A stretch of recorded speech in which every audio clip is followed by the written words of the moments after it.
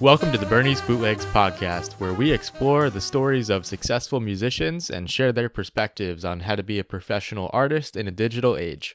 I'm your host, Kenny McCabe, and let's get into the show. What's up, podcast? Today I'm bringing you my interview with trombonist Nick Finzer. In addition to being an active performer, Nick is a professor at University of North Texas and is also the CEO of the record label Outside in Music. We discuss his upbringing in Rochester, New York, the most important things he has his students focus on, what it's like managing a record label, and a lot more. You can find Nick on Instagram at Nick Finzer and also on his website, nickfinzermusic.com. And so, without further ado, I bring you my conversation with Nick Finzer. All right, guys, I'm here with Nick Finzer. Nick, thank you so much for coming on the podcast. Yeah, thanks for having me. Glad to be here. How's it going? Going great. Uh, just uh, trying to keep all the plates spinning. Uh, lots of lots of things happening this fall. So uh, yeah, just trying to trying to keep everything balanced and move keep moving. Right on. So tell us where you are right now.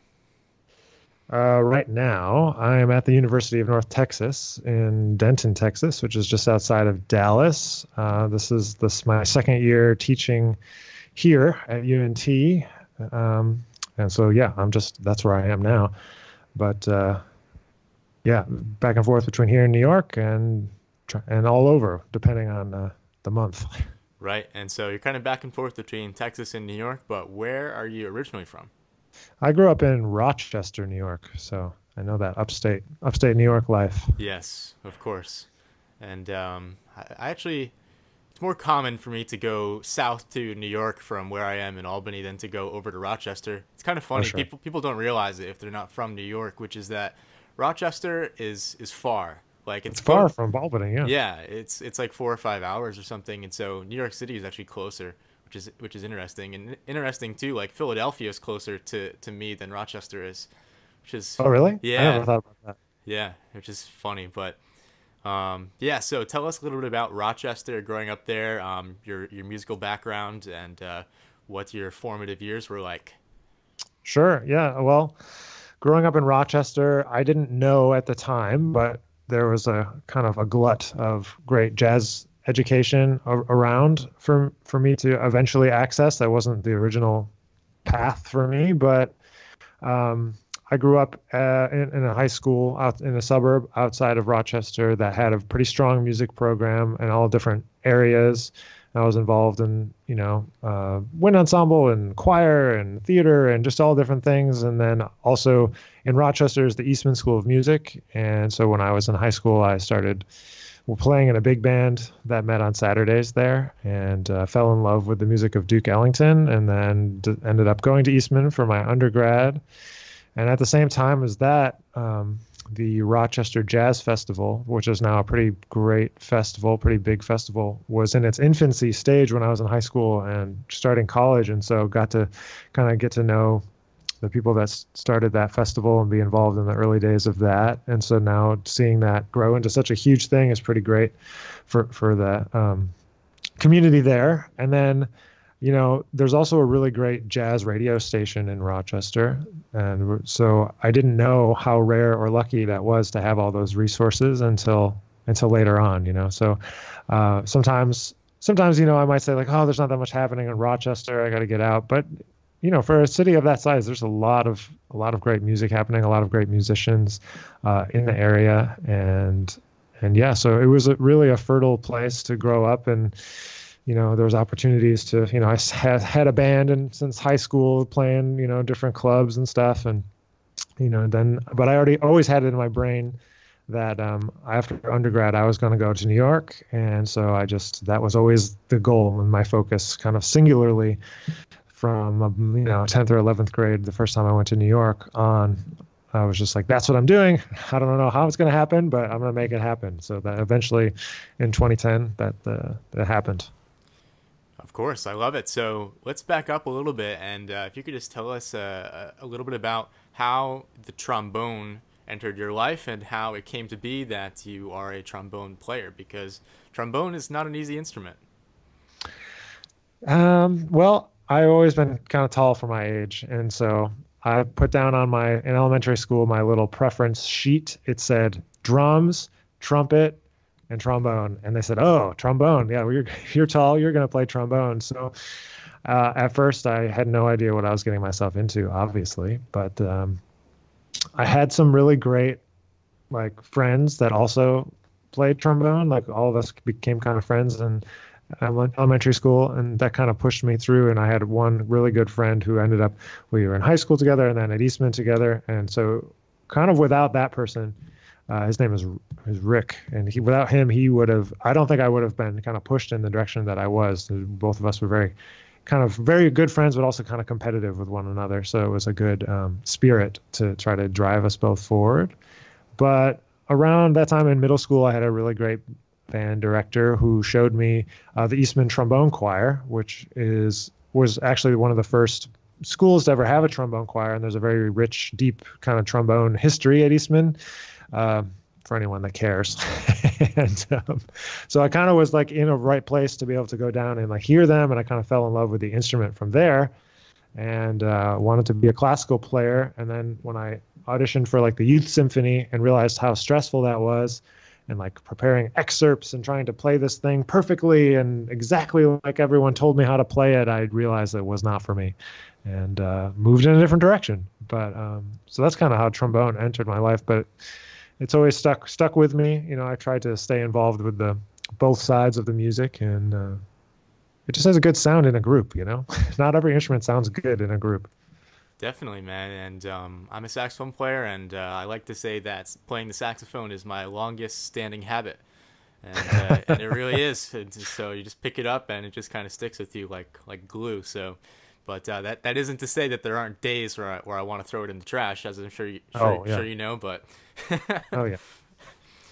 So, um, were your parents and your family always uh, relatively supportive of your decision to do music, or did they kind of push you towards it at all, or did they kind of want you to do something safer? What was the uh, the story there? Um, well, I guess it it was both. It was they were both very, very, very supportive and also very trepidatious at the same time. Um, my mom was is a flutist, and she uh, they should my parents also grew up in upstate New York, and she was going to attend Ithaca Ithaca College for music, and then she decided to not do that and get married instead. So she kind of always had this thing in the back of her mind about what would have happened if you know she had gone into music. So she was always supportive of any decisions that I made and going in that direction, which was really uh, great. You know, looking back. My dad was a little bit more practical. He demanded that I have a backup plan. Um, wanted me to get a music education degree or a business degree, just kind of double major. At that time at Eastman, you couldn't really do, do a, a, double degree with um, the university that it's associated with. Uh, now you can, but you couldn't at that time when I started.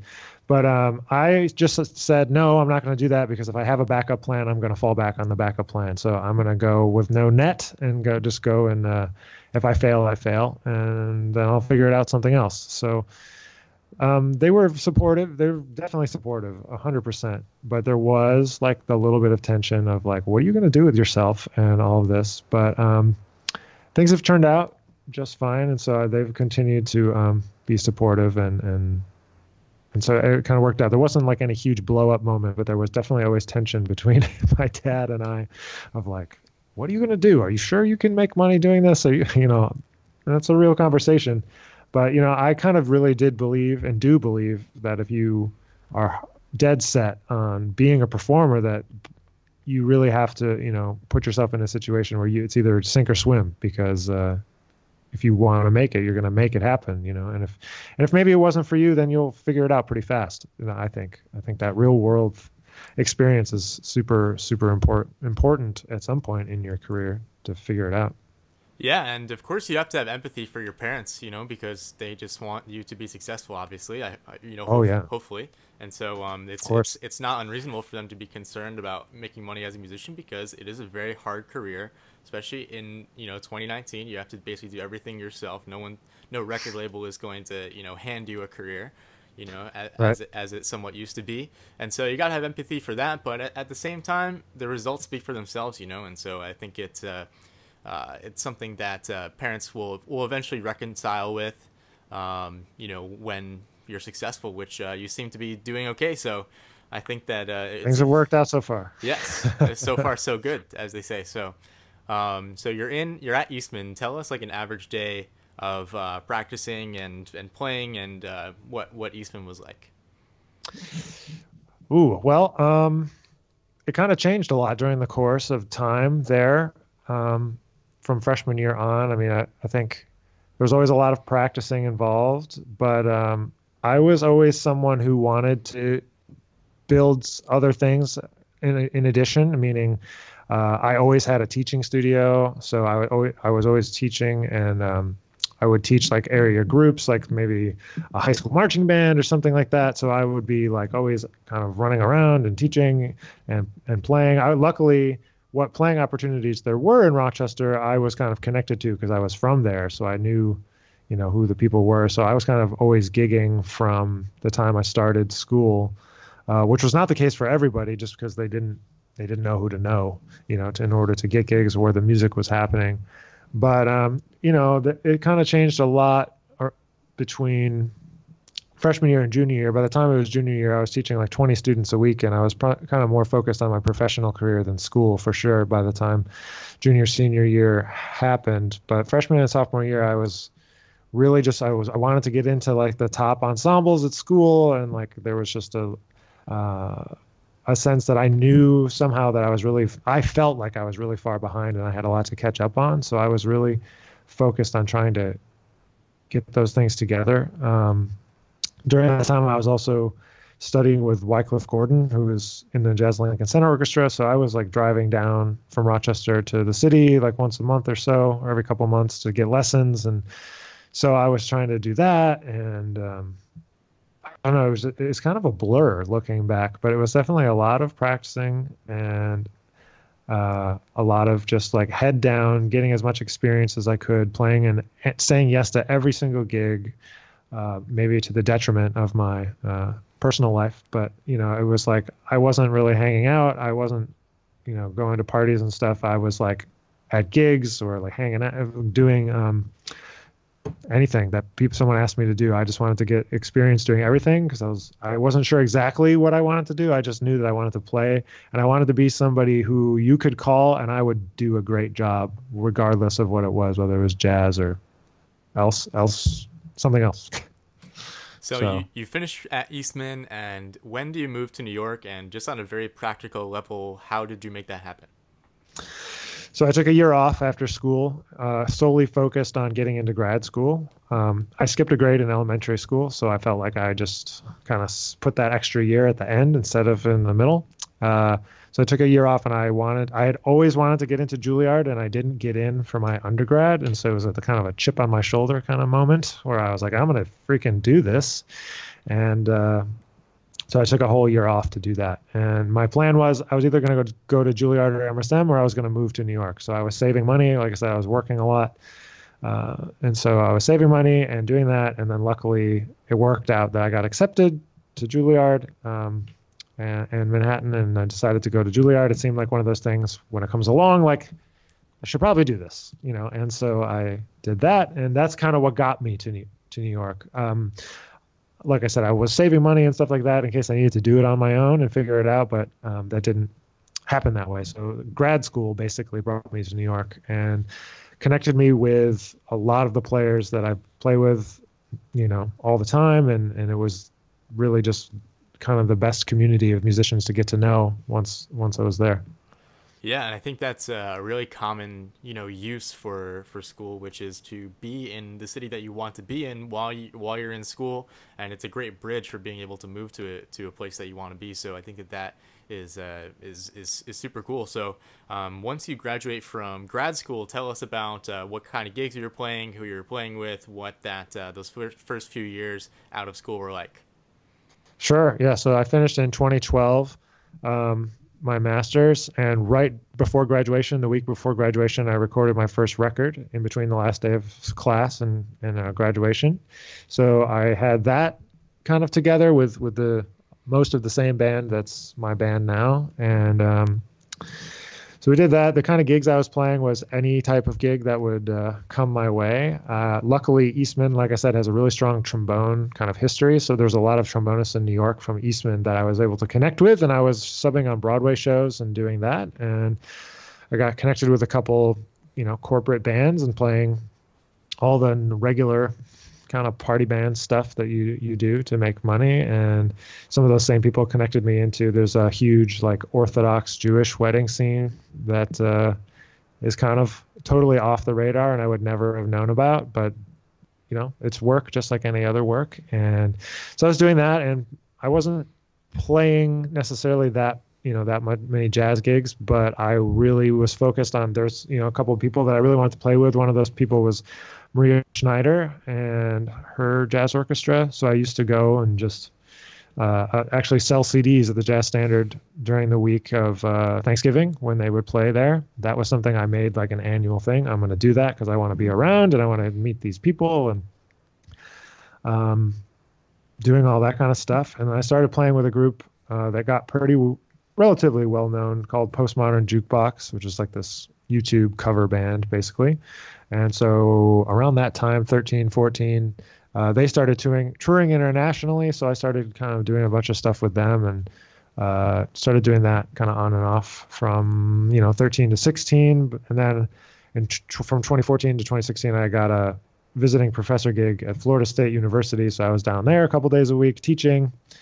Uh, I know this is a long answer to your question, but uh, they kind of all all that stuff was all coalescing kind of at the same time and i was trying to keep my i was trying to keep all the things going you know the teaching and the playing in new york and the touring and making rec- my own records. But um, started playing with like um, the gil evans project which is a big band led by ryan truesdell. I did some subbing in the lincoln center jazz orchestra around that time 14 or 15 uh, did some touring with them. So that's yeah that's the long, short answer. yeah. So, is playing in a big band format something that you've always inherently enjoyed? Because, you know, as a trombone player, there's, I think it's safe to say that there's less, you know, small group work for trombone players. There's a lot of big band work. And so, can you just talk a little bit about that and um, how you connect with it? Well, the, how I connect with it is that that was my connection to jazz in the first place. You know, the music of Duke Ellington was the music that hit me first in the jazz area and so that that from that time on, that trombone section from that band is that has always been in my ear. So, um, and you're right. So trombone players have to play in sections a lot. We know it's not you're not always getting to play Art Blakey tributes, and there's a trombone player in the band or something like that.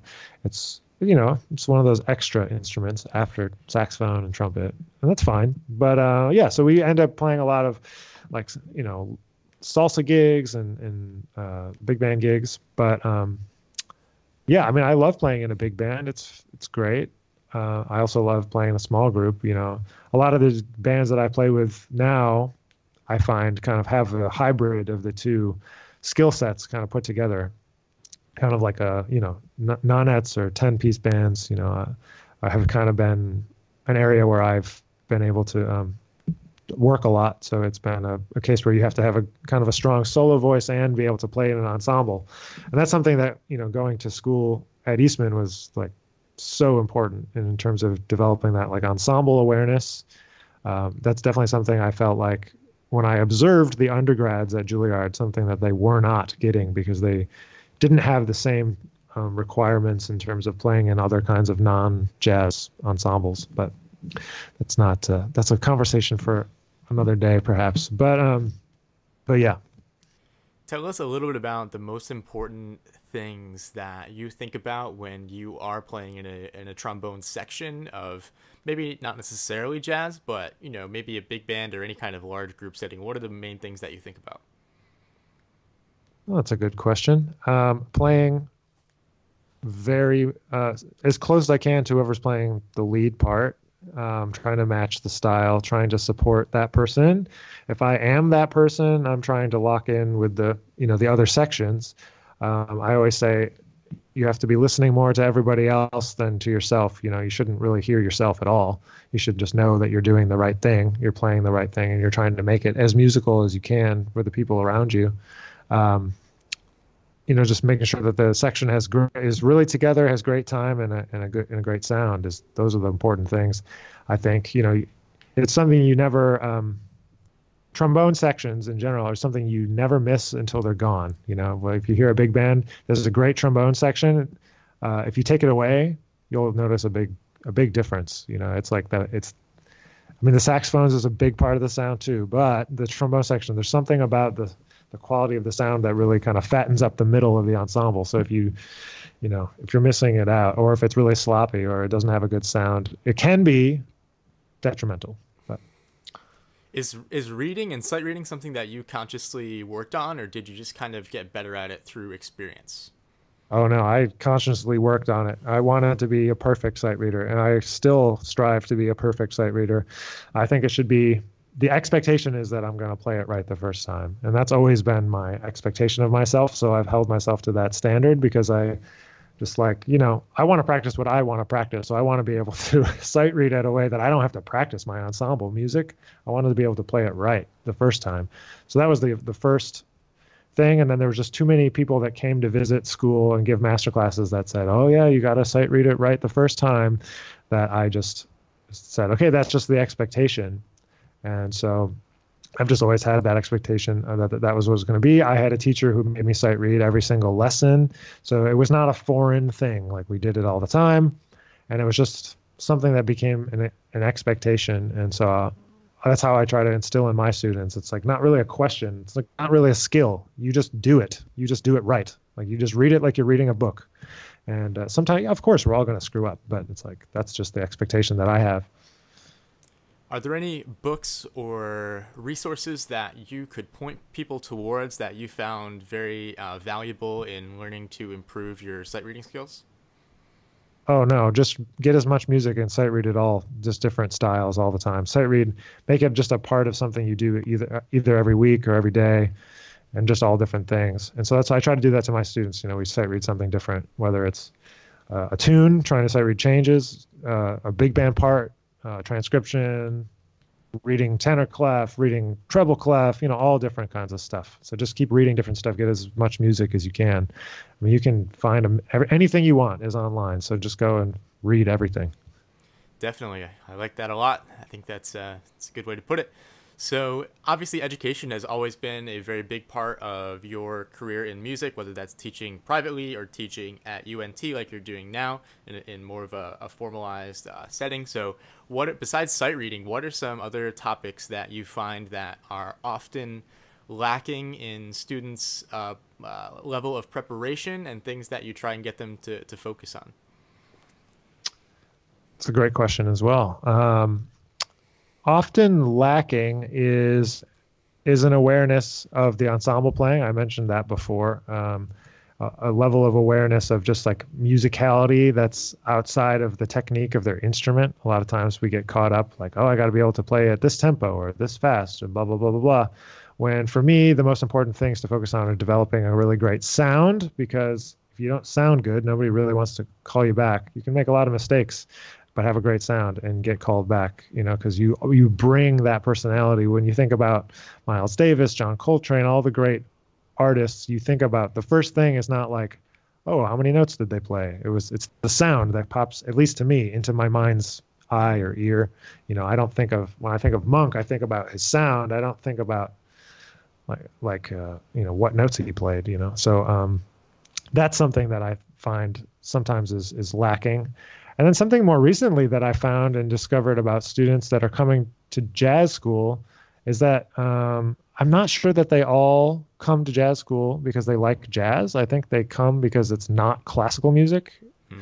and they it it kind of gets lumped into oh well I'll just get a jazz degree because it's uh, not classical and it's not music education. And I think that's because a lot of there's not a lot of options in terms of like you can't major in horn section playing. it's, it's not really a thing. So at the moment, anyway. And so I, I find that there's a lot of people that are going to school for the for jazz that maybe don't actually like jazz that much, which is kind of interesting to me. Uh, and I guess I, that's because my own personal experience is there's so so much tunnel vision going on that I didn't have an awareness that there were other people going to school that maybe didn't that weren't obsessed with the thing that thing, and so um, that I find that to be interesting. But um, I find the the the weakest things is just like developing their ears. People don't learn tunes by ear. They have iRealB app, and that's like my least favorite app. I'm starting to sound like an old man uh, about these things. I'm like, man, that happened really fast. All of a sudden, I'm on the other side of that. But uh, uh, just just a crutch on things like uh, like that. You know, just not learning tunes, just like pulling out the changes on their phone and stuff. And not that I think you need to know every tune, but you should your ear should be good enough that you can at least play simple tunes without having to read them off the iRealB. But yeah, those are a couple of things. Definitely, and uh, you know maybe it's a different story if uh, you're you know trying to read stablemates or something, but if it's some diatonic tune and you can't hear it, that's that's a problem. I think you. It's kind of, yeah, it's like uh, I'm not so sure if you're going on the right path here, or you haven't put in the time to develop your ears yet, which you should probably do. How would you go about developing your ears, or how did you? And uh, what are some things that you uh, have your students do in order to develop their ears, besides you know the obvious things like listening and transcribing? Sure. Yeah, sure. Yeah. Um, no, first of all, the first thing is to know that it's gonna suck. You know, you're gonna suck at it, especially if you don't have perfect pitch, which I do not, and it was really hard for me. But um, first, yeah, that first thing, realizing it's gonna suck, knowing it's gonna suck, knowing it's gonna take more than a week you know is like you just have to be patient is the first thing and and do do the work. Singing number one is really important being able to sing whatever you're working on. Um, i always did choir i was talking about that and i never thought it would was all that relevant until uh, i had to do you know oral skills class in college and then i was like oh it's a good thing i sang a lot because now i don't have to work that hard at this class but um, so singing is really important. And the single most important thing that I ever did, number one, was throw away my giant stack of real books and decide that I was going to learn all the tunes by ear and uh, learn them all on the piano. So I don't play piano very well, but I play enough to figure out the changes to tunes and accompany my students. And uh, they will tell you badly, but uh, just enough to get by. And that one thing developed my ears more than anything else. But there's some other great tools that I love. There's an app that Stefon Harris put out called Harmony Cloud. I really like that app. And um, there's a million things online for like learning intervals and all that stuff. But I find like all that stuff you can learn pretty easily. I feel like it's the hearing chord changes, the hearing the root movement, hearing the quality of extensions is something that's more difficult. But the thing to do is you just have to do it. Like it's going to suck, but just keep trying until you get it. Because once you get it, then you're going to be so happy you did. And, you know, the only thing that got me to do it was once I got to grad school and I had to learn way more tunes than I even knew in the course of a year. And I was like, I have to get a new system for this. And so that's, that's what I did. That's what you should do. Learn the piano. Or if you already play piano, you probably already have pretty good ears. Yes, in most cases, or perfect pitch always helps, but you know, not all of sure. us have that. So, um, exactly. Yeah, exactly. So, um, yeah, and one other thing that I think is highly underrated is just incremental improvement. And so you say, yes, it's it's going to suck, but if you can, you know, have your ears be a little bit better, one percent better, or a tenth yep. of a percent better the next day, then that just compounds over time. And I think that's that's pretty much how you get better. Exactly. You're exactly right. That hit the nail on the head. Cool. So uh, one thing that I also wanted to touch on is uh, your YouTube channel because uh, that is also a place where you are uh, graciously sharing a lot of uh, tips and other uh, informative material. And so, um, when you, when do you release those videos? Is it, it's once per week, right? Uh, yeah, I try to at minimum do one a week, and those come out on Wednesdays, Wednesday mornings usually, and they kind of alternate between being like what you're talking about educational content and then some also performance content so um, sometimes there's more than that per week but I, I strive for one a week and i've done at least one a week since 2016 spring so it's been a couple years now right on and i would definitely encourage everyone to go check that out. Um, if you just search nick finzer i'm sure you'll find it. And so i wanted to ask you about that because what makes you actively decide that you want to make an educational video about a topic? Because there's obviously a gajillion topics that you could touch, but what is the impetus for you to actually sit down and record a video and try and get some information out into the the YouTube sphere uh, regarding regarding that topic? Um, a lot of it is stuff that I share with some people in real life and non YouTube life. I guess it is real life. YouTube is also real life, but uh, like in person, like somebody comes to a lesson, I'm like, man, I really got to come up with something. Like what why is this so hard for this person? Or like why what is it that i do that allows me to do this particular thing that maybe somebody else hasn't practiced? So that's usually what it is. It's a real life experience. It's a one-on-one thing with a student. It's seeing the same thing with 10 students and being like man what could i what could we do that would be helpful and then taking that and turning it into some kind of exercise, either short or long. Some of them are pretty long, some of them are pretty short. So, um, just uh, I don't know. I decided in 2016 after I was leaving this visiting professor gig that I had that I was like, all right, if I'm going to leave this, what am I going to do uh, with my time with the, that extra time? I'm not flying to Florida once a week and teaching, so I decided, all right, I'm going to do a YouTube channel. And because you know, there's a lot of times I get messages from people on Instagram like I'm in such and such place, I can't afford to go to college and all this kind of thing. I'm like, well, they should be able to practice jazz stuff too. I mean, they shouldn't have to go and spend, you know, whatever amount of money that's a lot in most cases for for college to just to study this jazz music when you can find out about anything else on YouTube. Why shouldn't there be like jazz trombone stuff? And I noticed, you know, that I have a couple colleagues on YouTube who are, do trombone stuff, but a lot of them don't focus on the educational, at least jazz as, jazz education aspect of it. So I was like, oh well, it's not a huge amount of people out there that want this information, but I know that they're there because I get the emails. So uh, let me just answer this once instead of a hundred times and uh, put it on YouTube. Right on. So maybe the college thing is something we can touch on a little bit too. Uh, what heuristics would you use or recommend someone use for deciding whether or not they should pursue a degree in music? Uh, an undergraduate or a graduate?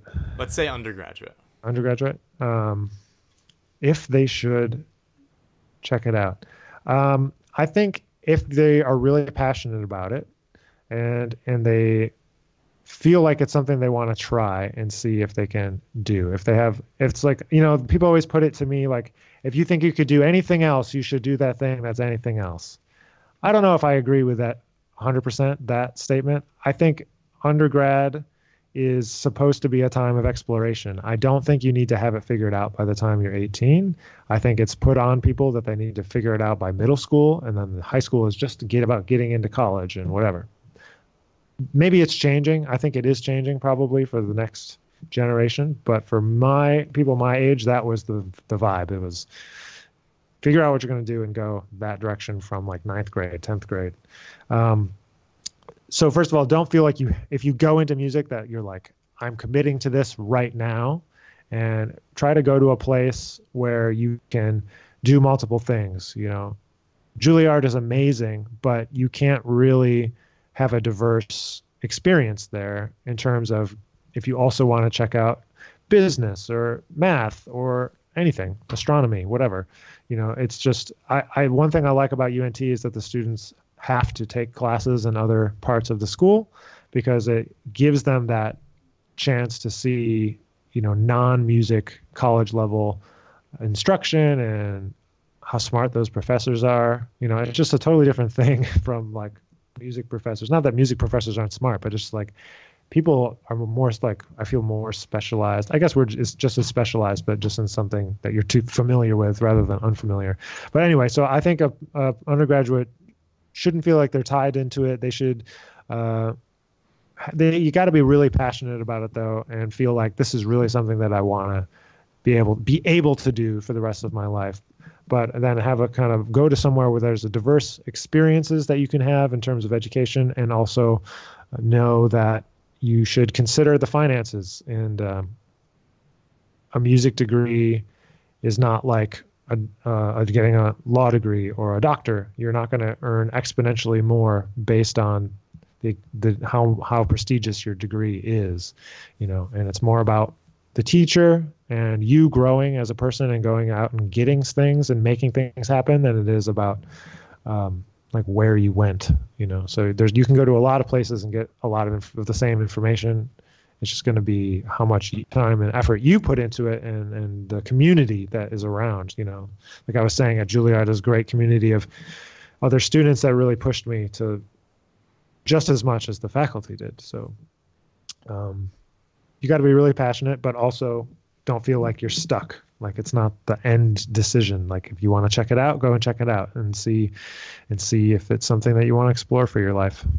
Yes, definitely. And I think one thing that could not that could not possibly be overstated is follow the money for lack of a better term because to uh, like you're saying do an undergraduate and explore whether or not music is the right thing for you. If you're getting, you know, a hundred thousand, two hundred thousand dollars in debt to figure out what you want to do, that might not be the best option. And, and I think you probably agree with that. I agree with you. I agree. I mean, uh, yeah, I can't even fathom. I'm not going to bring up any particular schools, but there's certain tuition amounts, and I'm like, are you kidding me? You know, but uh, yeah, just be careful. You know, I, as somebody that went to schools that aren't cheap, you know, and, and doing fine, I'm doing fine, but that that money is there and, and it sits back here. And every once in a while, there's like little gremlins that kind of run up, and you have to deal with them. So just you know, don't don't not consider it. yes, and um, it was just like you were saying too. I mean, I think it's probably the case that for the most part, you can be as good as you want to be because it doesn't matter at a certain level, it doesn't matter which school you're at. It doesn't necessarily matter. Uh, it's not of utmost importance who your teacher is because at the end of the day, you have to practice. You have to put in the work. And right. so I think that you know, in in in that sense, sometimes uh, when you consider the financial uh, burden of going to you know a really prestigious school, you know, without a scholarship, then uh, you know you might consider other options. Definitely, definitely. There's a lot of options out there, especially now. So uh, yeah, don't get yourself in a mountain of debt if you're not sure. If you're sure, it might be worth it. You know, it might be, but if not, you know, you can always come back later. You don't have to go to school to be a great musician. That's for sure. That is definitely for sure. And so, uh, let's uh, jump ahead a little bit. And I wanted to talk about your record label, which is Outside In Music. And mm-hmm. my main question is you started a record label, and my main question is why? why? Uh, that's a great, that's a good question. I started it out, out of lack of patience, I suppose. From my first record, I decided I I made it, like I was saying before, and then we were like, "How am I going to get this out?" I asked a bunch of people. They all said we could do it, but not till you know a year from now or something like that. And I was like, "Well, I'm not waiting that long," and so I decided to go it on my own and figure it out. And that's kind of just been my kind of personality for a little while. Just like I'm not going to wait for these people. And then um, so I did. I just started it not thinking much of it. I was just going to do my first record, and it was whatever. And so I just started it on CD Baby and put it out, and that was fine. And then I did another project of mine, put it out on a different label, and learned more things. Discovered that I wanted number one, like more input into how it went, how everything went, and then I also realized that I spent more money than I needed to, uh, a lot more money than I needed to, uh, because I didn't understand how to assemble a team um, to work the release in coordination with the label. So after that second record, I decided to go back to my thing and I'm like, all right, let's see if I can make this into something at least for me. And so I, the third record I made, I put it out on my label, and then the only reason that there it grew past that is because my friends started to ask me questions.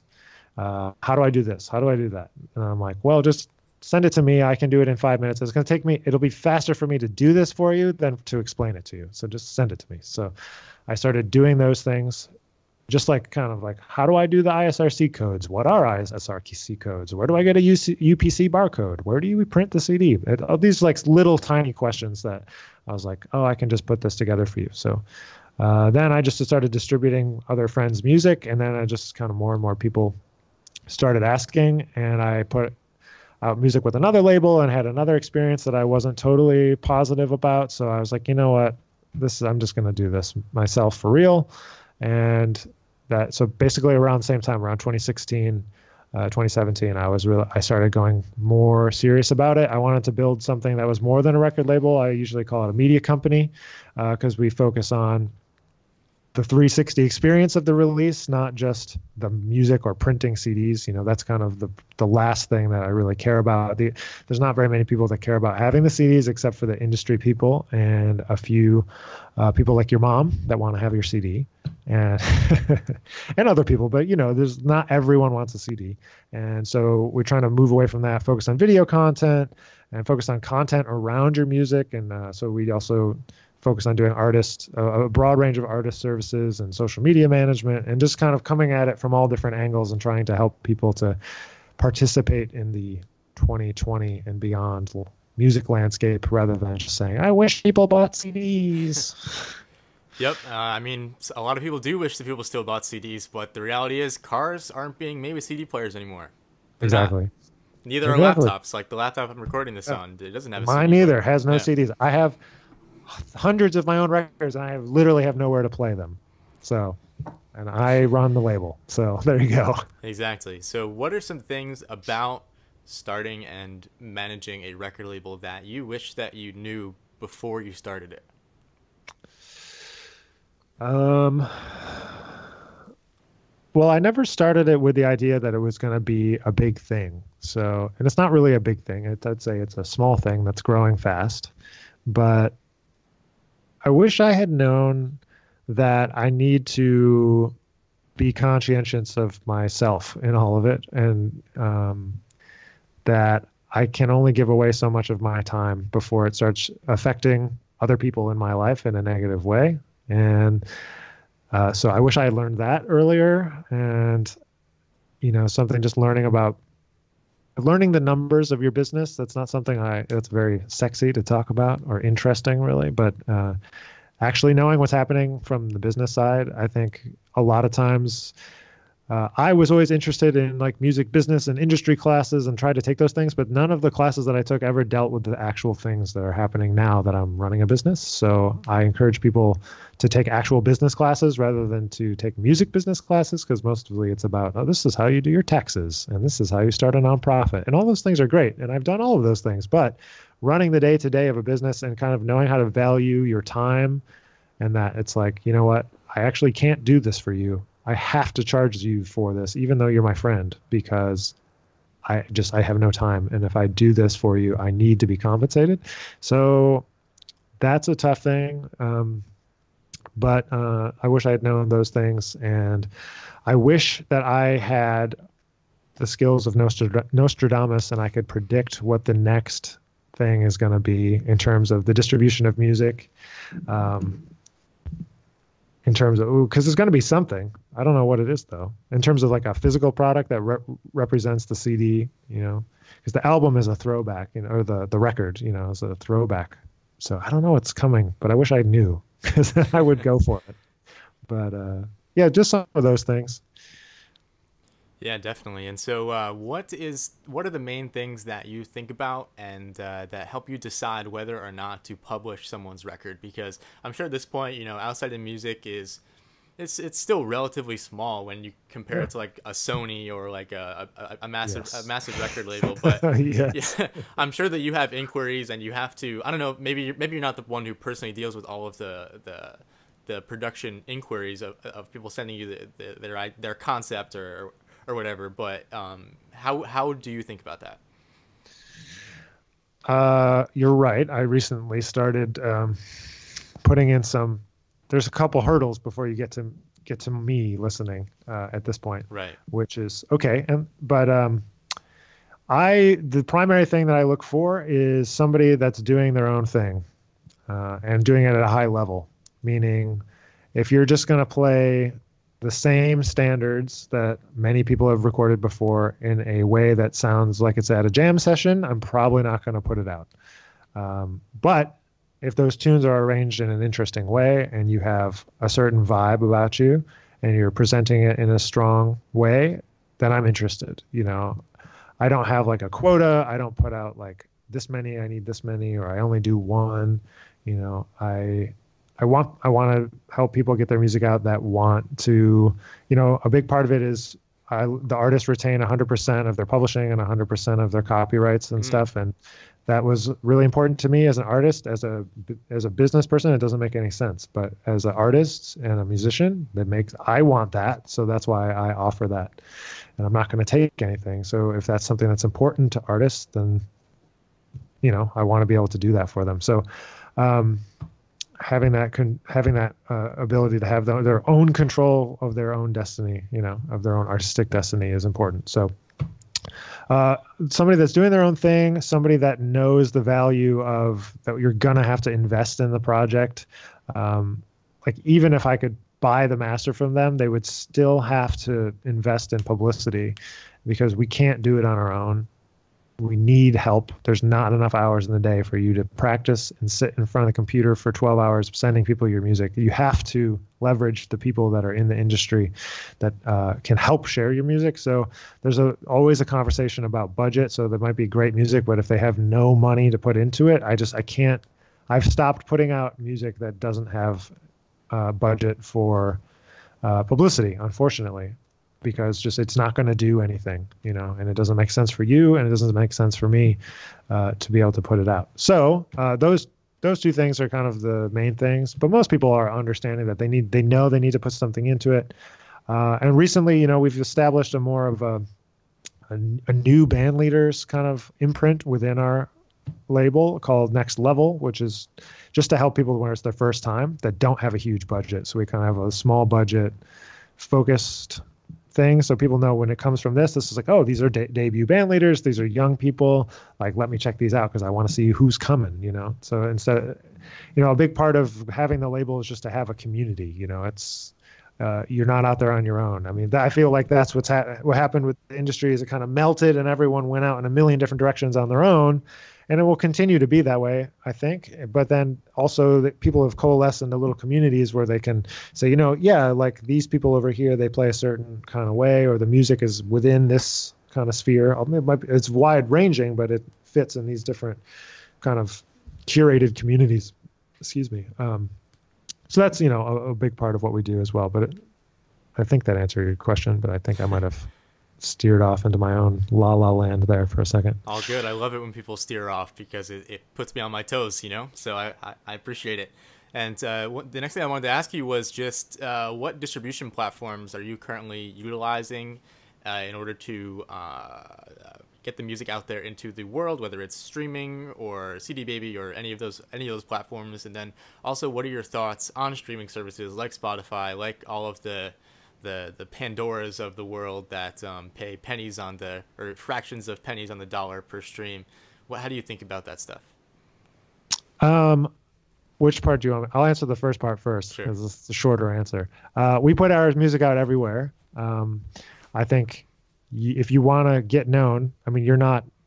None of the people on my label are Joe Lovano or Chris Potter or uh, Snarky Puppy or whatever. So um, if you want to get known, which I think all of us and the people that would be contacting me are probably similar to me, wanting to be uh, building our career. We're at the building phase. Um, I think you have to be everywhere because you're putting friction between you and the possible listener. If you're not on Spotify, if you're not on Apple Music, if you're not on YouTube, uh, that's the biggest one I get pushed back about is YouTube because people think they're they're just giving it away and they're not going to get anything from. But um, we use a, we have a boutique distributor that's in LA called the, and uh, they they don't deal with artists directly. They only deal with labels.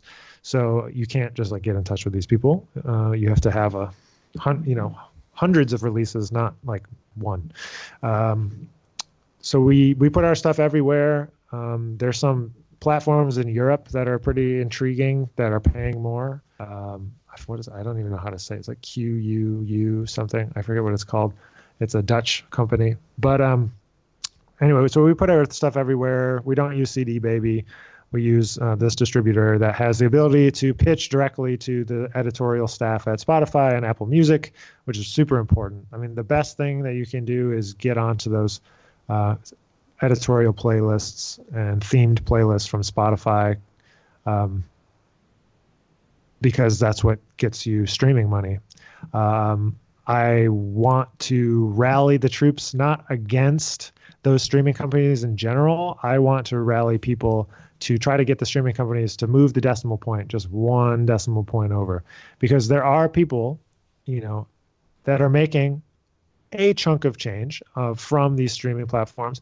You know, the main playlist for jazz is called State of Jazz mm-hmm. on Spotify, and uh, a friend sent me a, a check saying they oh they made two thousand dollars last month from that, and approximately, and I was like, man, if we could just move the decimal point over one, that two thousand becomes twenty thousand really fast, and that is really um, what we should be fighting for is higher you know just a little bit of an increase in the way that the royalties are paid out rather than trying to fight the consumer who wants to stream the music and doesn't have a CD player. And so getting people to listen more would be more beneficial use of our time, I think. So you can see that I'm pro streaming uh, from this answer, I think. But um, not because I think it's better, only because I think that's how people listen to music and so I want to be everywhere and I want it to be as easy as possible to, for people to find my music. Um, I think that any worry I have about losing the 0.0001 cents from that person uh, is made up for in the fact that if they listen three times and then come follow my Instagram and then they come to a show, that already made up for um, the loss of less than a penny from the stream. So I think I try to get all the artists to put all their stuff out as much as possible uh, everywhere. Some people decide they don't want to be in certain places, and I respect that and I understand it, but uh, that's not what I think. I think we should go where people are and make it as easy as possible to find uh, your music. Definitely, and I think the conversation really needs to change, especially among musicians that are of you know a, a, an older generation, you know, in, the, in, their forties or fifties or later.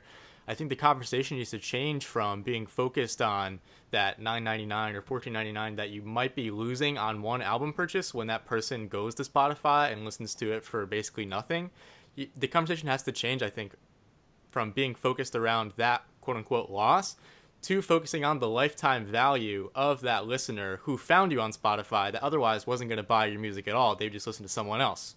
Exactly. Exactly. You're totally right. Anyone that wants to, that listens to your music and really cares, is one going to come to a show, which is worth more than them buying the CD.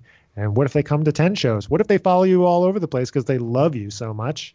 You know, it's like, you're putting these hurdles there that don't need to be there. But yeah, it gets definitely the older generation feeling like they're losing out on the CD sales.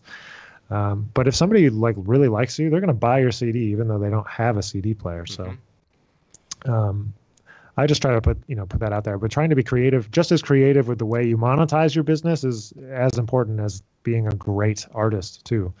You know, at least nowadays, I don't think you can this is maybe an over overgeneralization, but I don't think you can really depend on the things you saw growing up as the ways to monetize your music. You know, you have to be more creative than that. I think.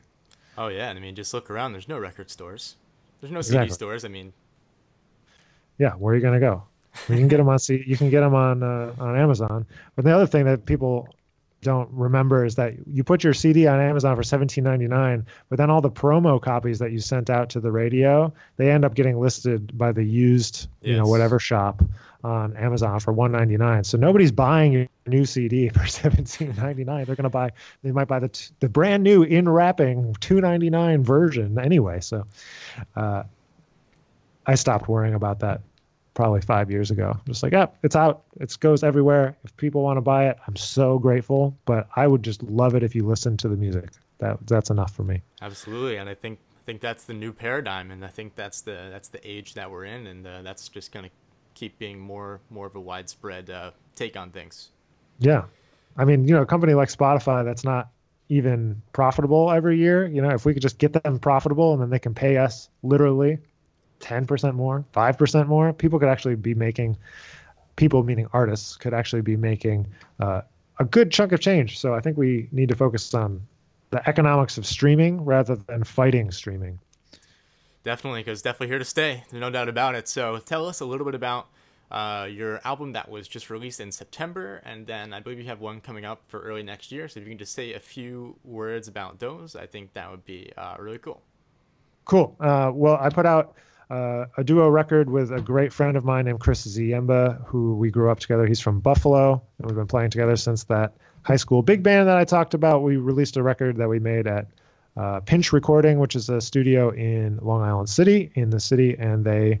Um, this was uh, also a chance for Outside In Music and Pinch to collaborate on some uh, some brand collateral. So we kind of worked together with them to put out some content for them and for us. So this record was a result of that. So there's uh, it's a bunch of standards, and Chris and I this is our third record together as a duo, and so that's out. It's called Live at Pinch Recording. Nick Finzer and Chris Ziemba. You can find it on all the places that we just talked about. But uh, that and then my sextet, which is my, my, usual band that I've had together since college, uh, has a new record coming in fe- end of February 2020, and that's called Cast of Characters. And so that's uh, going to be the fifth installment from from that group, but you can look out for that uh, in 2020.